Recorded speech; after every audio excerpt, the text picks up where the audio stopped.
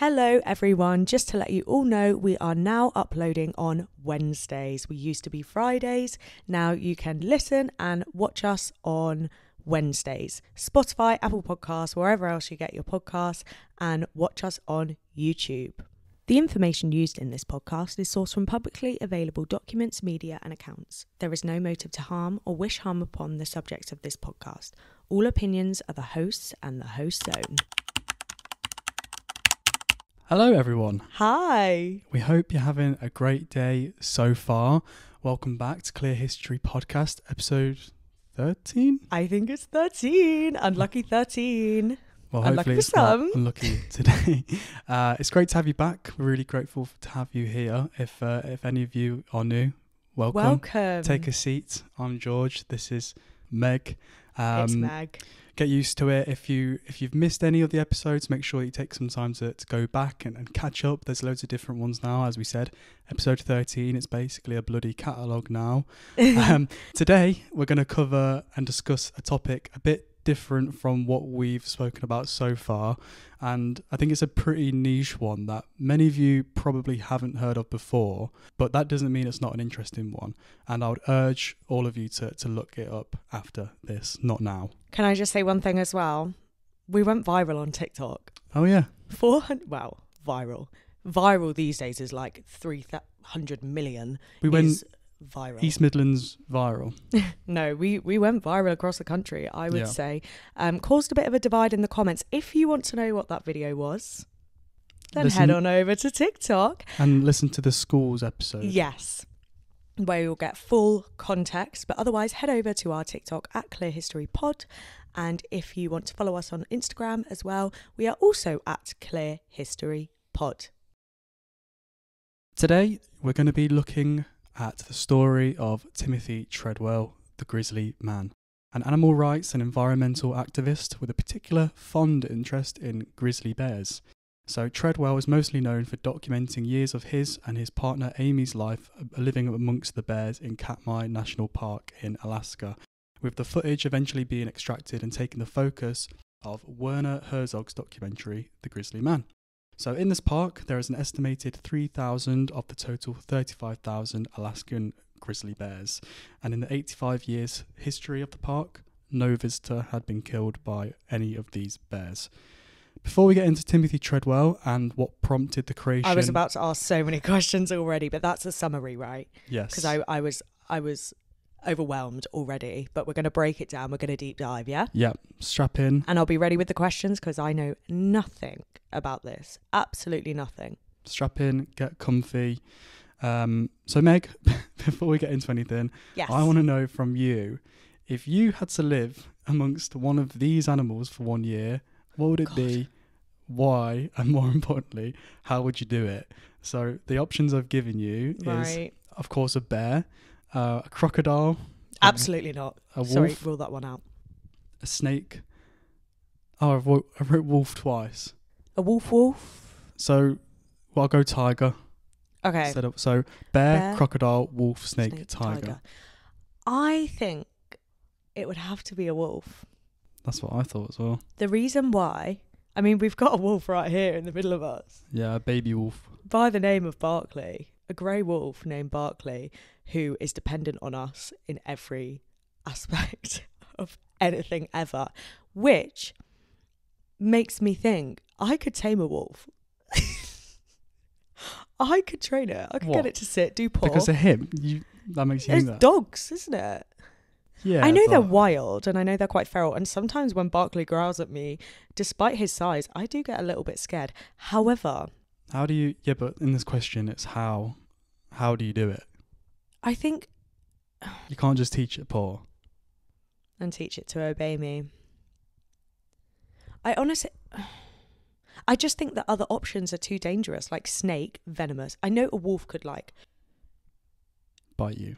yeah, and like still unalive you, but snake, they just act on instinct and attack. See, I didn't think about the venom of the snake. I thought about like being in bed and you're like, I'm really getting on with the snake at the minute, and then Oh. you're like, oh fucking hell, it's strangling me. Oh, you're into like the characteristics, like the the bond you create. I'm into the um fight or flight, the survival. But then with the wolf, because the wolf is the one that I chose as well in my own question. Um, but I thought like Mo- Mowgli vibes, where like if you're around them enough, and then I reckon if like you get used to it living out there, so you'll get get hunting. I know you wouldn't. You probably be like eating the berries off the trees and that. But I'd be out there making like a spear, catching like a bird, and then I'd Oh, okay. Sorry. maybe not with a spear, maybe with like bare hands, like chasing it around. Oh God. Um, bare hands. Bear Grylls. Um, oh, bear. Yeah, bear. And then um, I would maybe throw the wolves some food. Well, they said tame gain some, it. yeah, slowly gain its trust. That's what I said from the beginning. Tame it. Yeah, but you didn't say how. I asked how. Well, that I was doing a summary. This is only an intro question, George. Come on. So we're going with wolf, and we're gonna we're gonna tame a wolf I by think giving so. it food, and then teaching it how to sit and do paw. What do you guys all think? over. Yeah, let, Let me know. us Let me know. know. Maybe we'll actually, upload this. Let me know. Pick the most difficult one in this. I want a theory on how you could live with like a tiger or a snake. Yeah. Yeah, I, want to know how you do it and why you probably think your idea is better than ours. Just one final thing before we jump into the deep dive. If you want to request a uh, topic, a case, uh, add a submission to our catalogue of ideas, then you can actually go to our website. Now, I'm going to leave it in the description or show notes. Um, it's very new, it's very fresh, but we do have a uh, topic submission form on there where you can leave absolutely anything and it will go straight to our email address. So please be sure to do that. Thank you. Now, let's get into the life of Timothy Treadwell and what led to the creation of the Grizzly Man documentary. Timothy William Dexter was born on April 29th, 1957. Why didn't you react? Yeah, say that date again. Oh yeah, no, I, I knew that at the time. Yeah, when I wrote it down, I was like, oh yeah, that's But you didn't add a little asterisk. Asterisk. it's Meg's birthday April 29th. in Mineola, Long Island, New York, attending. Um, sorry if anyone's from this particular place, or maybe if your dad's watching. Uh, I believe it's Connetquot High School. He was the third of five children, and from what we know, and from the, those closest to Treadwell during this time, Timothy's early life was what we would typically picture as normal or ordinary, with nothing out of the ordinary sticking out. In fact, Timothy was the Connetquot High School's swimming team star diver. Timothy's parents describe him as an ordinary young man. It's worth saying as well, because I know I did say before Timothy Treadwell, so he changed his name to Treadwell in 1987. Um, so throughout this, I'm going to be referring to him as either Timothy or Treadwell or Timothy Treadwell. Why did he change his name? Do you know? It said, uh, from what I could see, it was something to do with a name that his mum used, but I think he just thought it sounded cooler, to be honest. What? Sorry, what was his previous surname? Uh, it was called Timothy William Dexter. Oh, okay, Treadwell. Treadwell. Maybe he just wanted his mum's maiden name. Maybe we're looking Maybe. into it. Carry maybe. on. So, as we said, an ordinary childhood upbringing, but question marks over the behaviour of Timothy only came about after he left to attend Bradley University on a swimming and diving scholarship. So, here it's been claimed that Treadwell uh, would converse with fellow students, telling a narrative of being a British orphan or that he was from Australia or both combined, um, while telling a myriad of lies to develop uh, a backstory behind these lies. And it's never really been confirmed why he would actually do this. As we said before, he had a normal upbringing. So, you know, in like, Some people are just pathological liars, like they Yeah. thrive, or not even that they intend to do it for a negative impact. They just have to lie, like they thrive off of lying psychologically. yeah, as we progress, maybe we can get a bit more of an idea of the mind of Timothy Treadwell. Um, so he would also then take a particular interest in acting, and this was probably the most interesting thing that of the research and what I knew before doing the research. But he reportedly lost out on the role of Woody Boyd in the hit sitcom Cheers to the now very famous Woody Harrelson. Uh, as some of you may know already, Harrison joined Cheers in 1985 and remained on the show for the remaining eight seasons until it concluded in 1993. And this was possibly what springboarded, or probably what is what springboarded Harrison into his roles in hit movies such as The Hunger Games, Zombieland, and Now You See Me, to name a few. That's like the um butterfly effect, isn't it? If if Timothy had got the role, then we wouldn't know who Woody, Woody Harrelson, Harrelson is. was- yeah, yeah, yeah. I wonder if Woody Harrelson ever thinks about that as well. probably Yeah, if he's aware of it. yeah, maybe. uh, but Timothy's father has said that this loss made Treadwell spiral down, leading to years of alcoholism and drug use. But throughout this entire period, the swimming and the acting auditions, there was only one true passion for Timothy Treadwell, though. Animals, nature, and the environment were truly at the heart of Timothy, with him also keeping a pet squirrel named Willie as a child. This is so you. Not all the other Fuck stuff. off. Not all the other stuff, but your love for animals. You'd love a pet squiz. You know I you would would. love a pet you know you would. If you like lived in the tree outside Yeah. as well, Yeah. not like inside. Actually, We do have- Willie. we we technically have a pet squirrel that jumps in the garden every now and then. He's pretty chunky. yeah, he's fatty, isn't he? Uh, sorry. So, yeah, maybe not. He's a rotund little squirrel.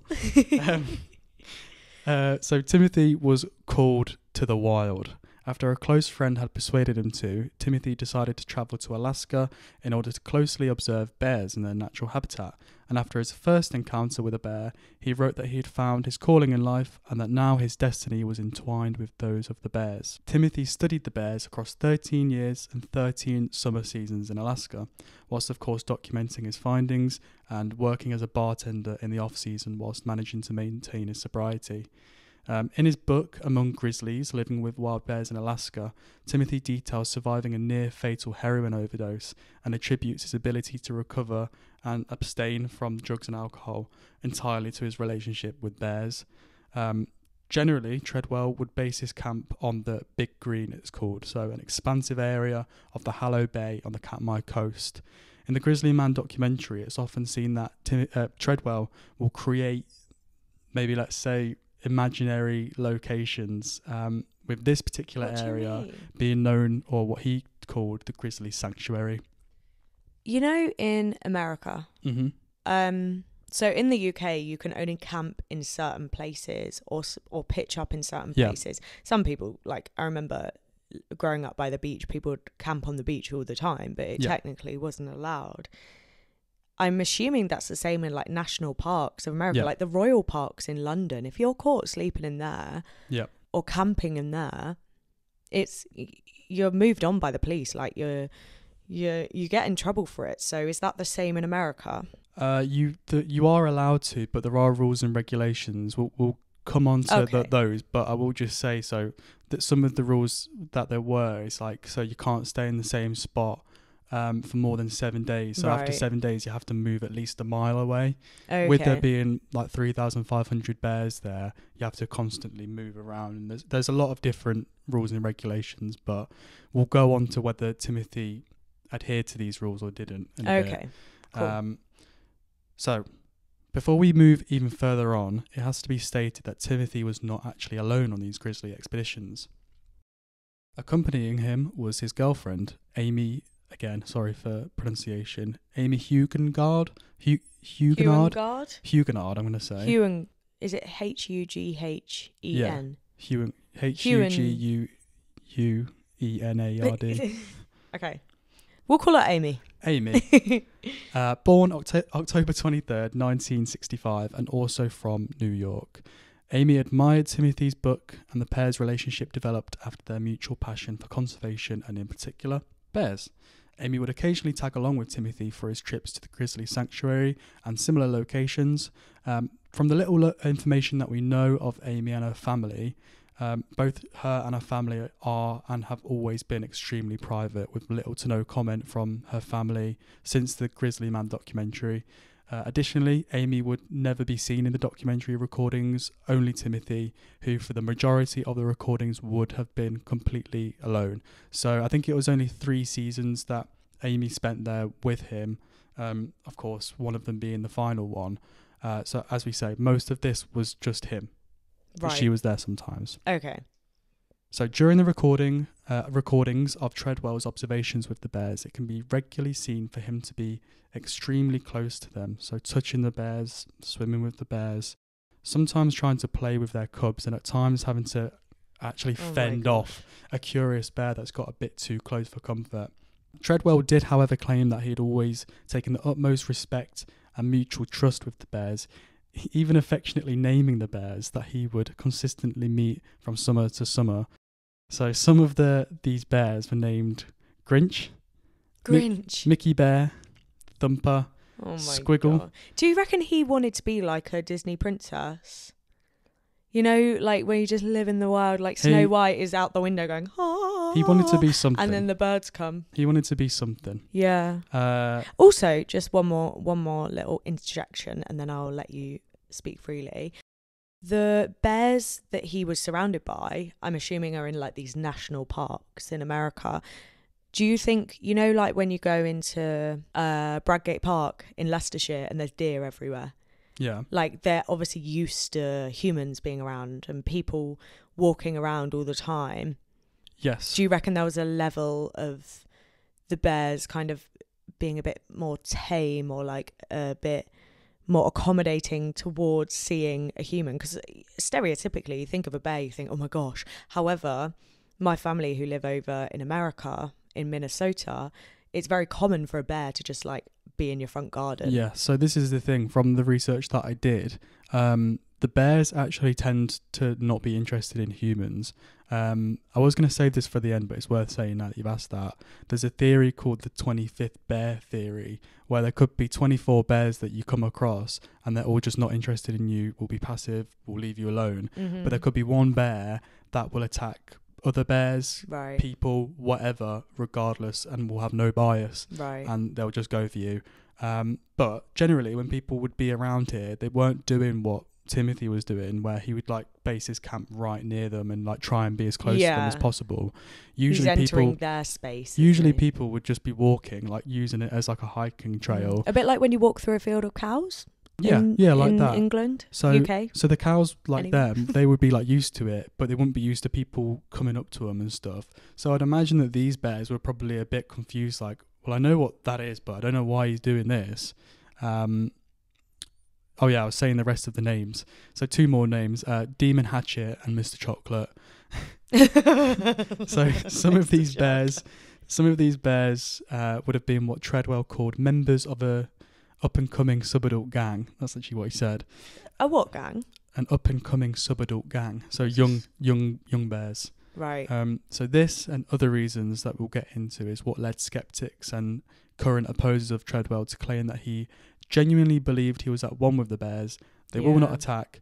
He's immortal or above life, or that he truly believes that he is or wants to be a bear. Mm. Um, in the later stages of the summer season, Treadwell and sometimes Amy's expedition would relocate to uh, Kaflia Bay, uh, a location also renamed by Treadwell to be the Grizzly Maze. Uh, even though they have names, I don't know why. He's yeah, so he renames these yeah. places. So there's the Grizzly Sanctuary, He wants to Grizzly be in Disney. He wants to be a Disney character. I'm sure of it. maybe. So this location was at a much higher risk though, and actually merged with a lot of the bear trails where they would go. Of course, increasing the risk of actually coming across one of these bears, but maybe that's what he wanted.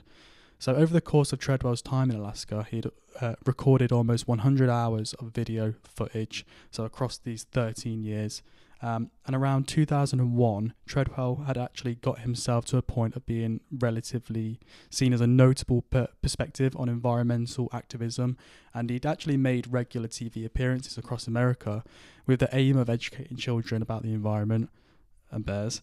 Uh, Treadwell?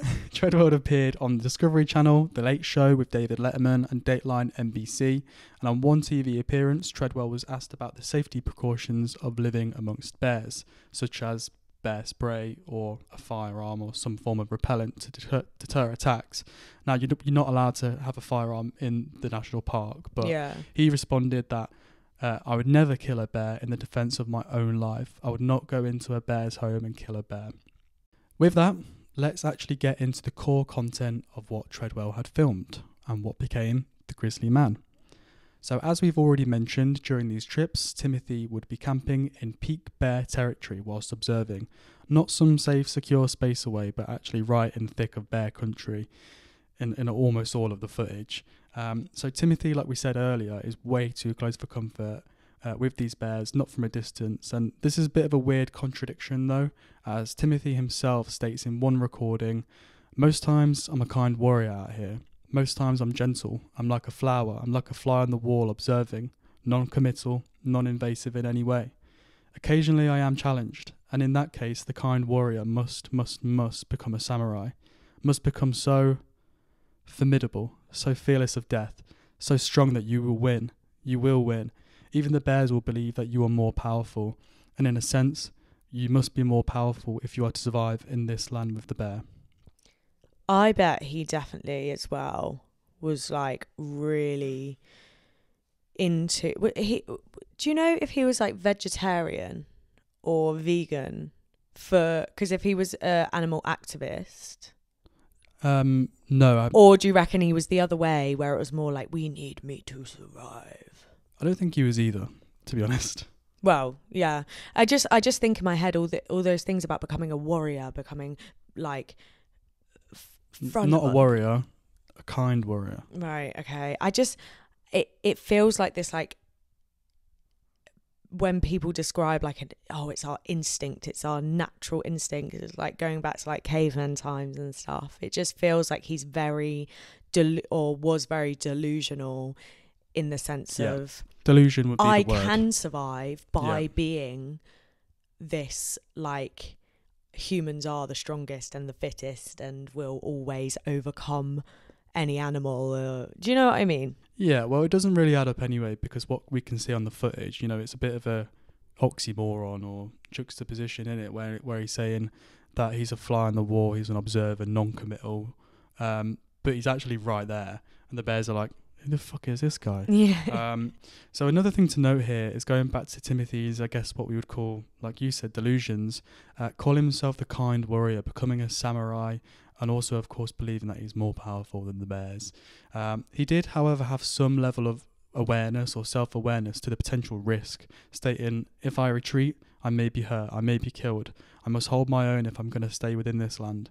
If they smell weakness, they will exploit it. They'll take me out, they'll deca- decapitate me and chop me up to bits and pieces." Me so- with the wolves. yeah. So despite Timothy's efforts, um, he probably was actually a bit invasive, to be honest, or a disruption at least to these bears that didn't need or want him there at This all. thing, it's not needed or wanted. Yeah, Like, it's unnecessary. yeah. The the closest encounter that we see, or encounters that we see Treadwell have with the bears, one being where he's filming this absolutely massive bear scratching its back on a tree. Um, it then comes right up and around the area of the camera where he is, uh, where we hear both excited and clearly nervous Treadwell say, I'm going to try and do it how he did it. He's like, It's okay. I didn't mean to get in your way. Wow. It's okay. You're the boss. Nice job. Uh, after the bear has safely left the area, we, we then see the These level of bears like, what? yeah, they're literally like, what the hell?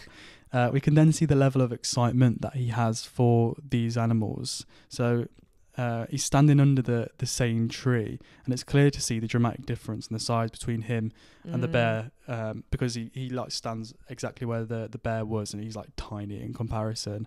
Uh, and Treadwell's just going, "Oh, he's a big bear. He's a big bear, a very big bear. Wow." um, the the second close encounter, just to give you an idea of the It's like excitement. it's in the room. I know, yeah. the, the second close encounter actually involved one of the bears that Treadwell knew and has sub- subsequently named. How did he know him? Where did they meet? He recognised them, didn't he? He's met them before. Um, Right. so here How? we can see. They all look the same, right? No, I reckon they might have like different fur or like Yeah. sizes, or you know how like they recognise sharks by like the scars on them and stuff. Yes, yeah, true. I'm very ignorant to bears since I have never N- encountered never one. met one. um, here we can see Timothy speaking into the camera by a river or stream area, um, which, by the way, would of course be one of the most popular areas for a bear to go and like fish. So he would always record in the areas which would be most active yeah. with bears. he needs to um, get that content. Yeah, he, yeah, he's getting the best content. That's it. Um, but he is then interrupted by Grinch, slowly approaching from behind him as his back is turned. So he knows he's there. I think Grinch is a girl actually. He knows Grinch is there, but as he's doing his monologue into the camera, Grinch is slowly like Oh my coming gosh. towards, and Oh then he my like, gosh. turns his head and sees it like almost last second. Um, so he turns to notice Grinch and says, "Oh hi, Grinch." Me at Christmas. He turns back to the camera and goes, "If I turn around too much, you'll bite me." Hi. She has kind of an aggressive attitude. Uh, hi. It's okay. How are you? Hi. How are you? Hi. Hi. So We're the- friends, you know, guys. So the, the, the bear then starts edging closer and Oh, God. closer to him and takes what looks like a bit of a nip at him. And Treadwell swats his hand at Grinch, adding, Don't you do that. Don't you do that. I feel like I might have seen this clip. Maybe, yeah. He goes, Back off. Don't do it. And then he goes, It's okay. I love you. I love you. I love you. I love you. I'm sorry. And then the bear, or Grinch, um, somehow does actually keep going, which I, I don't think I don't think it's because he said he loved it and it felt bad. I think the bear was just like, what is it? I'm I'm just gonna go away. So weird that it knows the he know he knew the bear so well to call it Grinch, and then Grinch listened. I'm kind of got a bit of faith in Maybe Mr. Bear Man. maybe Timothy Treadwell's onto something here. Um, but how he managed to survive, especially with like as long as he did, especially with regular encounters like this, is quite a big question. You know, across 13 years, it's pretty mad. But regardless of all of this, that maybe could be considered quite controversial. You know, he shouldn't have been there. It's pretty clear to see that he did have a lot of love and infatuation for the Bears. You know, he really did care about them. There was one, um, there was one bit he filmed where he was in his tent and he was almost pleading with the gods for there to be like better weather for the animals, like rain and stuff like that. He was pleading with God and right. Allah and everyone. Yeah. Um, and he definitely loved the bears because he describes one of them as the Michelle Pfeiffer of bears. Um, the same cannot be She's said. also got her birthday's also April at April 29th, Michelle Pfeiffer. What a coincidence. Crazy coincidences, episode 8, I think. Now, the same cannot be said for his opinion of human beings, or more specifically, uh, the National Park Service. So, for anyone who doesn't know who they are or what they do, essentially they manage all the national parks, monitoring nature, wildlife, and maintaining these spaces. So, like you said, with like Bradgate Park, not like everyone's going to know what Bradgate Park is, Hmm. but the ones who would like take care of the deer and make sure they're all Mm. and make sure that no one's mistreating them. Um, during his time in Alaska, Treadwell had developed not the best relationship with the Park Service, but what we can see in the footage is that he actually developed quite a bit more of a conspiracy or an us versus them mentality than was actually there.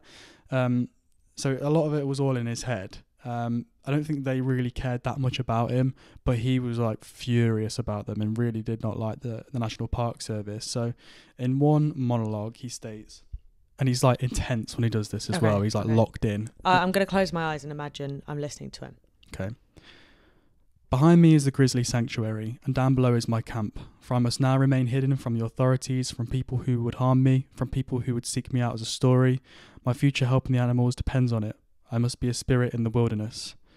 However, that's not to say that there wasn't any actual existing tension between him and the National Park Service. Some of it was in his head, but from the very beginning of his time there, uh, the National Park Service expressed their worries about his behaviour. So these restrictions were what ignited Treadwell's aggressive opinion and disdain towards them. So, according to the National Park Service, um, the Rangers reported at least six violations for Treadwell between 1994 and 2003. And these violations go from camping in the same location for over a seven day limit, like we said. Improper food storage, refusing to install an electric fence around his camp, or refusing to carry bear spray or any type of deterrent for a potential attack. Yeah. Um, the worst of these violations is guiding tourists around oh my without a license. I, do you know, I was. Just...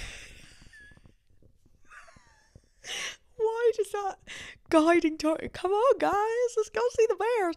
I, what I was gonna say, um, was if they've obviously got to put these things in place and obviously have to like call him out or what's the word like sanction him for it hmm. whatever because if he can do it so can everybody else so then suddenly Yeah. you've got all these people who love bears ruining the it's like hunting in america albeit i don't like believe in it or i don't stand for it but like they have like don't they have conservation like regulations in hunting and it's like yeah, and there's should areas where you can and can't hunt and stuff. yeah like they've got to they've got to put these things in place or well, we know what human behavior can be like and Yeah. what people do to intrude on something, a natural species like bears. Yes. So Treadwell's relationship with the National Park Service eventually boils over, where in one monologue, control seems to be completely lost. Uh, and he says, again, he's locked in. Okay, okay, closing eyes. Expedition 2001 coming to an end for grizzly people. For me, Timothy Treadwell. I came here and protected the animals the best I could. In fact, I'm the only protection for these animals out here. And then the rant continues. They flew over a grand time of two times in two months. How dare they? How dare they challenge me? How dare they smear me with their campaigns? How dare they when they do not look after these animals and I come here in peace and in love, neutral and respect? I'll continue to do this. I'll fight them. I'll be an American dissident if need be. There's a patriotic time going on right now, but as far as this fucking government is concerned, fuck you, motherfucking Park Oh. Service. I'll beat your fucking asses. Oh, I protected the animals. I did it. Fuck you. Animals rule. Fuck you, Park Service. oh my gosh. I beat you, motherfuckers. I beat you. I beat you. Fuck you. I beat you. I beat you. How? I'm the champion. I'm the fucking champion. I beat you. Fucking losers. Wow. So yeah, I didn't like the Park Service. Yeah, it sounds like he wasn't too fond of them, to be honest. No, no. Um, in another scene, not long after this rant, we can see Treadwell opening up on what it is like and what it takes to live uh, with and exist around wild bears, like Grinch. Um, And he says, I keep thinking about Grinch. I think about Demon Hatchet and Mr. Chocolate. Um, he says, Who's the other one? Mickey Bear. Mickey Bear, I like yeah. Mickey Bear. Squiggle, Thumper. Oh, squiggle. I, I before I carry on, there was one I didn't include this in it, but there was there's one bit where there's two bears having a scrap, like full on fighting. I think one of them I one of them's? Mickey Bear. I, Mickey don't, I don't know what the other one is. Oh, Mickey Um, Bear. but basically, Timothy's kind of like just watching and commentating over this fight, and Mickey Bear gets the better of this other one, and then this other bear is like completely exhausted, like so you can just see it there like spread out on the beach, and then Timothy's like thirty yards away recording himself, and he's like talking to him about like giving him a post-fight rundown, and he's like, he's like, he's like, I think you underestimated Mickey Bear there. And he's, he's like he he started to to rope a dope you and he and then I thought you know that's one tough bear This bear's on the ground like, fuck yeah and there's a off. bit as well I'm because exhausted. I'm in pain. the bear's like alone. the bear's like facing the opposite way and then as he's talking you kind of see him like go as if to be like what's this guy saying This guy in your ear, like. I was like oh fucking hell it's him again um, so oh, sorry. That's funny. Mickey Bear. In another scene, as we said, he goes on to say about what life is like, and he says, But let me tell you, ladies and gentlemen, there is no, no, no other place in the world that is more dangerous, more exciting than the Grizzly Maze. Come here and camp here. Come here and try Oh, to do what I do. You will die. invite. You will die here. You'll freaking die here. They will get you. I found a way. I found a way to survive with them. Am I a great person? I don't know. Everyone has something in them that's wonderful. But mostly, I love these bears enough to survive and do it right. And I'm never giving it up. Never giving it up. Where do you think this goes next? God, I honestly. So he hasn't been removed from the National Park Service, has he? Like they aren't able to go in and detain him and remove him yet, right? Don't, That hasn't happened yet. I don't know if they're like, uh, like, illegal. Do they have that authority? Yeah, I don't know if they have that authority. I feel like they're just like rangers, aren't Well, they? Well, this is the thing. It's like, is Maybe it they can a, pass it on to the police. Yeah, is it a, is it breaking the law? Um, is it? Could you like put out a warrant for him for doing all of these breaches and everything? But the problem is, is that it's such a like, it's such a big area, and what he'd do as well, he would um, put his tent underneath like really thick brush, so it made it really difficult for people to see him. right. Like he didn't I- want, I he guess didn't, he didn't want to be seen by the bears or people. I'm thinking of like again another park in Leicester, uh, Victoria Park. I'm thinking of that, but national parks are huge, Yeah, huge. So I guess it is a lot harder to just sort him out and yeah, just the the him. national park that he was staying in is probably bigger than Leicester. Yeah, yeah, yeah, Probably yeah. way bigger. Yeah. Um, okay. Um, I really don't know what what will happen next. I mean, I have an idea based on what I know the the climax of this case is. However, I really don't know how we get there. So I'm clueless, but that's because he's a very he, he's full of surprises. This Timothy. He is, isn't he? Yeah. Well, at 2 p.m. on Monday, October 6, 2003, Timothy and Amy's air taxi pilot arrives. Oh, Amy! I forgot about Amy. Yeah. Amy was there. Uh, he arrives at Kaflia Lake as scheduled, ready to pick up the pair as usual. So he would, or other air taxi pilots would have to go and get them at the end of their stay in the season and they would take them back. Uh, but they'd also do patrols as well around the area, make sure that everything's looking good. He quickly notices a large grizzly bear. He said it was rainy and foggy out that morning. So Willie continues towards the camp of Timothy and Amy, noticing slight movement which he believed was Timothy shaking out a tarp. As he gets closer and closer to the camp, he sensed that something just didn't feel right. Something seemed strange, hollering with no answer, he says. So Willie then turned around and returned back down the path towards his plane, again noticing the same pretty nasty looking bear, which was just the meanest looking thing. Oh God. Once safely back in the plane, Willie flies over Treadwell's camp between 15 and 20 times with the intention of herding that bear away from the area.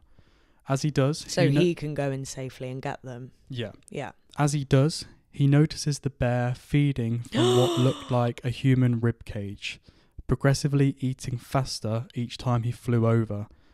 At 4:25 p.m., Katmai Park Ranger Joel Ellis and two other rangers arrive at the lake, uh, along with Willie, of course. Mm, yeah, obviously he's called out. Yeah, quickly conducting an interview with Willie. Willie says that he could not be 100% sure, but was confident that something was wrong, Oh, yeah, I'm not 100% sure, but this bear is eating somebody. and it's mean looking, he says. Yeah. Um, like Willie had done previously, he again proceeds up the path towards Timothy's camp alongside Ranger Ellis, Gilliland, and Dally- Dalrymple. Um, when suddenly Gilliland shouts, Bear! Ellis then states that he saw an adult bear moving towards the group about 20 feet away.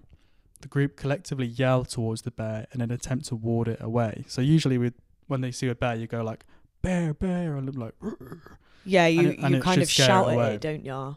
Yeah. Um, however, Ellis perceived that the bear was well aware of their presence and was actually stalking them. Then, all three rangers armed with 12 gauge shotguns begin to fire at the bear, with Ellis firing one time and Gilliland and Dalrymple each firing five times. The bear, of course, dies, Yeah. and Willie Fulton shortly confirms that he believes this is the same bear he had seen earlier. Right. Now, at the site of Timothy and Amy's camp, human remains were discovered, partially buried. Both tents were collapsed and torn apart, with a pile of grass, mud, and sticks just ahead of the main tent, which Ranger Ellis states, seeing fingers and an arm protruding from the pile. Oh, gosh. Under this mound was Amy, who had actually intended on making this her last trip with Treadwell. Wait, she died? So this was her last trip with Treadwell, and she was, from what I've read, I don't know if this is true. She was intending on leaving him, Oh. and she ah. secured a, a different job that she was gonna go and do. Yeah. Um, and yeah, Oh she was my God, I didn't thirty-seven realise at she- the time. oh, God. Yeah, it's then discovered what is left of Timothy Treadwell, Oh. with his right arm and hand laying nearby, with his wristwatch still attached, and his head connected to a small piece of spine. and a look of frozen grimace still Oh frozen gosh. onto his face. Shortly after, as the team begins to load their helicopter, another but much younger and smaller bear begins to approach the group, also ignoring both shouts and warning shots. The bear is also shot and killed after continuing to approach.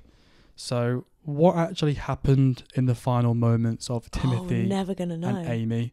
How did this all happen? Do we know? Well, Timothy's camera equipment was also oh, found Shit. At the site of the camp, with the footage later being analysed. The footage contained the audio of the final six minutes of their life, capturing the events of the attack. Oh my gosh, because I was gonna say, oh, if like, did she die first, or like, did he kill her and then he was killed by a bear? Like, what is going on? Were they both killed by bears? I'm assuming so, but when it was like, oh, partially buried human remains, I didn't know if that was like Him. yeah. homicide, and then no, no, no. and then, but we know. I thought we, I thought it was going to be a lifelong mystery. No. Um, wow. So at first, the audio is mainly, all you can hear is like rain and wind on a tent. So imagine you're in a tent and you can Right. just hear like the rain and the wind Mm. against the side of the tent, followed by um, the tent zip opening, which has been presumed to be Amy leaving the tent. Got ya. So Amy can then be heard asking whether it's still out there. It's not confirmed whether it was Amy's decision to start up the camera or whether Timothy had requested this, but it was probably that one. Mm-hmm. We can then hear Timothy's screams. Get out here, I'm getting killed out here. With then the screams and shouts of Amy urging him to play dead. For a moment, this worked, and the bear began to leave the camp. Oh my god. So Amy rushes over to Timothy before again being forced away by the return of the same bear. Timothy is again heard screaming, with playing dead now, of course, not being an option. He pleads and begs Amy to hit the bear. Amy is then heard yelling at Timothy, Fight back! Fight back! Oh and stop, God. go away! As what sounds like a frying pan is hit on the, the head of the, the bear Mm. amongst the screams of Timothy. It has been claimed at, uh, that at this stage, the bear released the, uh, Timothy's head from within its mouth, opting to then bite him around the upper leg area. Oh, He can be heard saying, Amy, get away, get away, go away. It was apparent that Timothy knew he was going to die, oh. but Amy did not leave. she didn't leave his side. It's thought that she was paralyzed by the fear and the trauma of what she had seen. And Amy, of course, then meets the same fate as yeah, her it's like partner fight Timothy. or flight. Like I was saying earlier. Yeah, Fight or flight or freeze. yeah, and um, it's been said as well. I didn't include it, but it's it's been said that the bear was almost attracted to the screams that she did. Yeah, it's like a um when a dog's barking and you shout at it to stop. The dog thinks you're barking at me. Oh, we're barking. Eh, oh, we're barking. Okay, I'm going to carry on for the next half an hour. Yeah. So on Friday, the eighth of October, an autopsy of the the larger bear, you know, the one that they shot, Yes. the mean-looking bear, uh, an autopsy was taking place, um, revealing human remains and torn pieces of clothing. So it was estimated to be around 28 years old. Um, it wasn't confirmed whether the smaller, younger bear had actually taken any involvement in the attack, as before any examination could be, be made, it was consumed by other bears or animals in the area.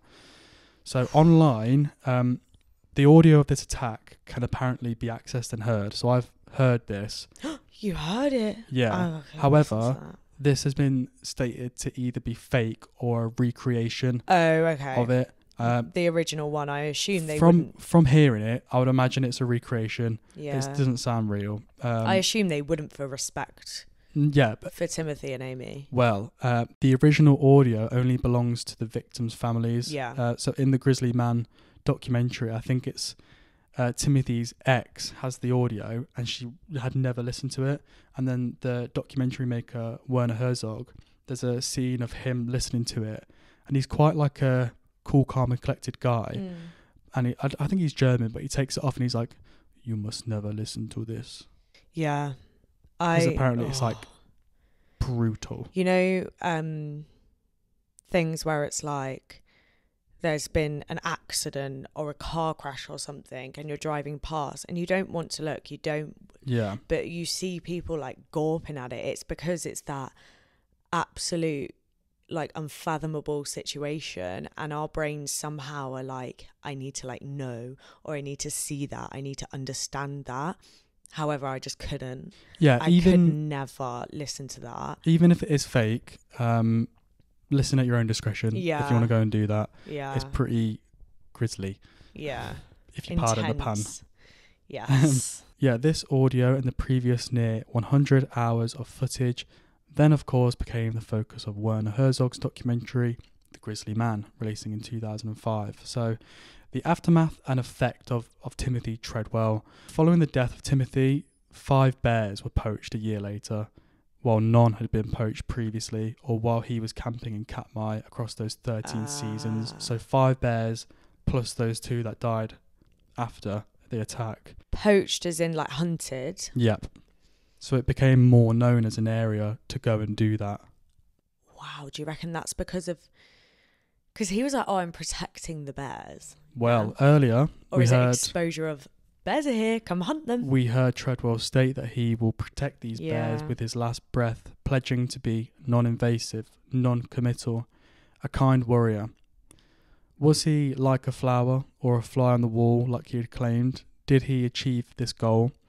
Did he save the animals, or did he become part of the problem he thought that he would solve? Yeah, it's like don't if it ain't broke, don't fix it. To some, Treadwell is known as a hero, and that he championed the effort to maintain the habitat and continued survival of the grizzly bear, stating that he willingly sacrificed life and limb in an environment that leaves scientists and animal experts amazed and in awe. Um, yeah.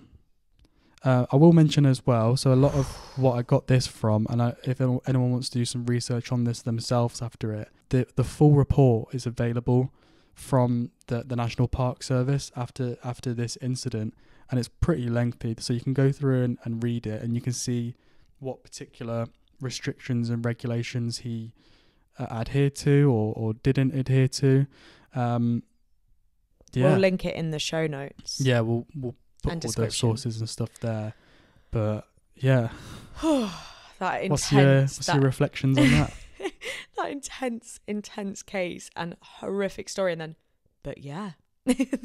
That's how you end it. yeah, Um, it's insane. I think it's a lot to digest and a lot to unpack. Obviously, two people lost their lives, and that's horrific. And no one deserves to like lose their life that way and in such a tragic way. And I can imagine it's hard because there's so much criticism or um, scrutiny on his behaviors and his choices and what he chose to do and how he chose to impose in this natural habitat and environment. And I was ready to go like this stupid idiot. Like, why is he doing this? Why is he doing that? Oh God. I mean, we were laughing earlier, and then it's like, yeah, and then they killed him. And you don't want to victim blame. You don't want to say, well, don't go and live with bears.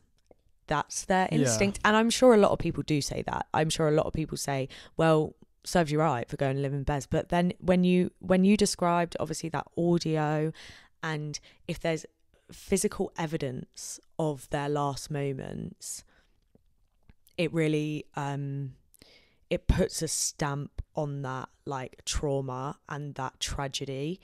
yeah, So I find it really hard to think he's a stupid person or sh- they're stupid people for doing all of these things. However, if there were more regulations or more ways to um, move, like if there was more of a. Because it's a threat to life, him doing all of that. But then I, I, I don't really know anything about this case or about the National Park Service over in America. But if there was like more to you know, put restrictions and prevent this happening is what I'm trying to say. Was that would that have changed things? Who knows? But I don't think so. I think Yeah, I think, to be honest, he was probably asking for it, and I don't think if he if he was alive now or came back to life, he wouldn't begrudge what happened. to He be fair, he- yeah. When you just said he was asking for it, I was like, oh no, Georgia, don't say that. But his his dialogue throughout his content in his documentary, or not like his I think I literally think word if, of mouth, he was like, if he could pick a way to die, it would have been that. Yeah.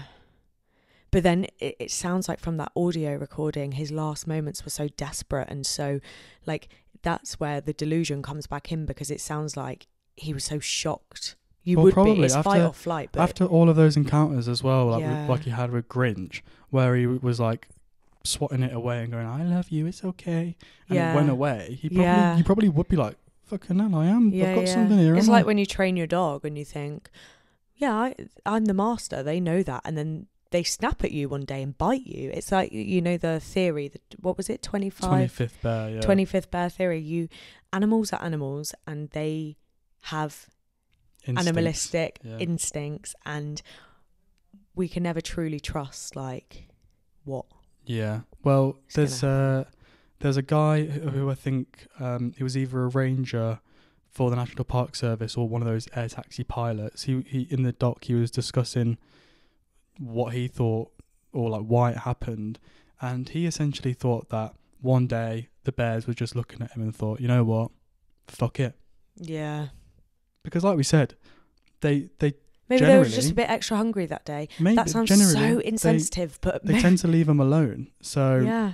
You know, it could have been any time. I think he was so lucky to even have made it that long. Or if she's if she if Amy said on the recording as well, or it might have been Timothy saying, "Are they still out there?" yeah, I was Maybe an yeah. encounter happened earlier on in the day that was negative, and No, so what happened was is that the attack had already started. The attack had already oh, started, and then they were in. and the, then- and Amy was in the tent with the camera. So the camera starts. oh, and Amy's going, "Is he still out there?" Yeah, is it Like, still out there? To Timothy So- outside, to Timothy outside, who's being attacked by the bear. and then the camera starts. Yeah, and we don't know whether she decided to start it or he, in those moments, went to start the camera. Which I would believe, to be honest. Yeah, I would believe he'd do that actually, based on the hour of information I have on him. I know that's quite generalized, but wow, Yeah.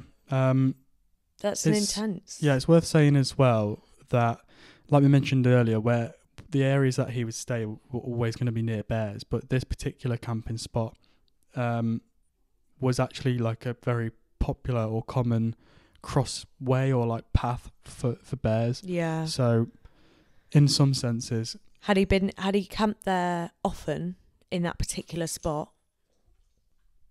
I believe so. I believe so. I think they were always around the same sort of areas. Yeah. The Grizzly Maze or the Grizzly Sanctuary. On that note, I think, we, I think Barclay's, note- Barclay's fed up. He's done. He's like, Barclays I don't want to hear about bears anymore. Yeah, he's like, come on, guys, that's the end. Thank you so much for being here today. Um, happy Wednesday if you're listening on Wednesday. If you're listening on your usual Friday and we're part of your routine, we love that and we're so grateful for that. Any day you're listening, we hope you enjoyed. We hope it's sunny where you are. The sun is setting here now. Sun, Mm. lack of sun. Um, but yes, have a lovely week you can follow us at Clear History Pod on Instagram, TikTok. You can visit our website, link will be in the show notes and description. You can follow us on Spotify, subscribe to us on YouTube, like, rate, review. We really want we we really, really, really are passionate about this and this is our our little baby. So we really hope you enjoy and hope we can continue doing this. Am I a great person? I don't know. it's okay. I love you. I love you. I love you. We love you and we're grateful that you're here. Ciao. Bye.